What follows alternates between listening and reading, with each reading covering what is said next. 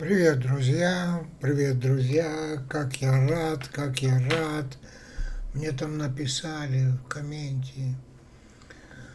Какое огромное количество у нас просмотров и написали, какие молодцы, что помогаем стольким людям. Каждый смотрит наши видео, получает поддержку. Спасибо, друзья. И мне очень приятно, что у нас прошел прекрасный ликбез. Да, было видно наглядно, что применяя наши наработки, людям это помогает. И я всем благодарен, кто поделился своим опытом. Я хочу одновременно сказать вам, вот видите, в нашем коллективном разуме мы тоже кое-что сделали. Да.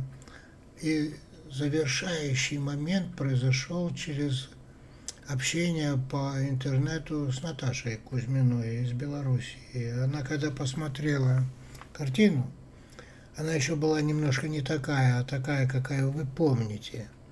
И она сказала, слушай, у тебя же чайник получается. Я с удовольствием сделал чайник. Вот так вот. Вот видите? Она сказала еще, знаете, что? Она говорит, спроси, говорит, у всех наших друзей, что это напоминает. Есть такая вот э, то ли сказка, то ли еще что-то такое, как она или кто-то там в сказке э, как-то помыла потом посуду, и они все собрались, и что-то такое было, я вот не помню, что она сказала, но кто догадается, сам напишет. А может быть, если никто не догадается, мы Наташу попросим, она там напишет нам в комменте там счастье какое-то. Ну вот, вот, вот, какая-то сказка. А это я весь в велосипедисте. Велосипедисте. В общем, творчество наше развивается. И самое главное, после нашего ликбеза, многие мне пишут о том, что как это здорово, а Борис Каменский наш написал, что это состояние детское, естественное – котором дети своего счастья не осознавали. А мы создаем что? Мы создаем как раз таки вот это. Когда мы делали там «Играй в свою игру», и когда я показывал эти приемы, как выходить э, э, на моделирование того, что вы в детстве больше всего любили, какие игры играли, у вас возникало вот это состояние. И Борис Каменский написал там – что в детстве мы это испытывали, естественное состояние счастливое, но не осознавали.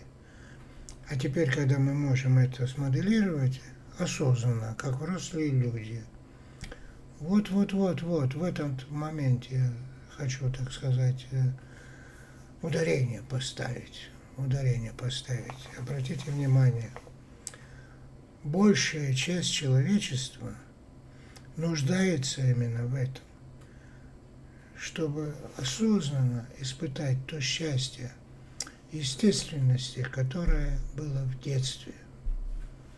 Да, оно бесценно. Это богатейший ресурс, который обладает каждый человек. Почему я говорю не все люди на планете, а большая часть на планете. Ну, потому что кто-то был травмирован какими-то там родовыми травмами, вирусами, радиацией, какими-то бомбами, взрывами, там, химизацией и прочее, десятый был травмирован, и, может быть, в детстве не испытывал этого естественного состояния. Но здесь дополнительное действие происходит. Даже если он в детстве этого не испытывал, то мы даем эти приемы для того, чтобы человек мог снять стресс, выйти на свое естественное состояние, которое глубже его детства лежит потенциале миллионов лет эволюции. И если бы даже сейчас нам выключили всю историю, произошла бы какая-то невиденная, невиденная атмосферная или экологическая катастрофа, или какой-то астероид упал на Землю, и все бы потеряли память, как бы они могли восстановиться как люди? Конечно, только с методом ключ можно. Потому что знания, которые они бы потеряли, не дай бог, не дай бог. Я просто гипотетические знания, которые они потеряли при этой катастрофе.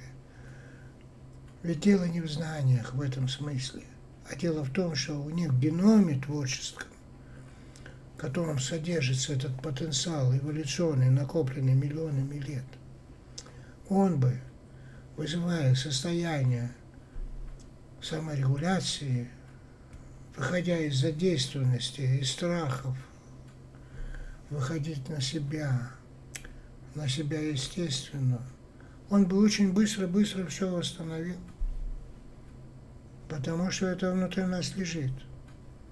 Поэтому мы школа человек будущего, Homo Futurus, мы говорим о том, что в нас лежит такой мощнейший потенциал, наша история эволюции в каждом из нас.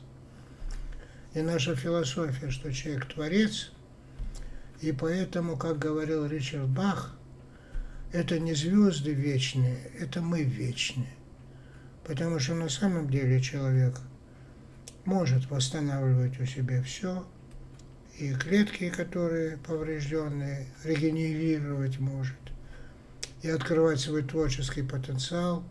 И поэтому я хочу, чтобы мы все понимали, до какой степени мы уже разумны, становимся все разумнее, разумнее, и можем наше сознание, как управляющую систему в организме, применять по настоящему назначению. Потому что сейчас искусственный интеллект оставит людей без востребованности, так сказать.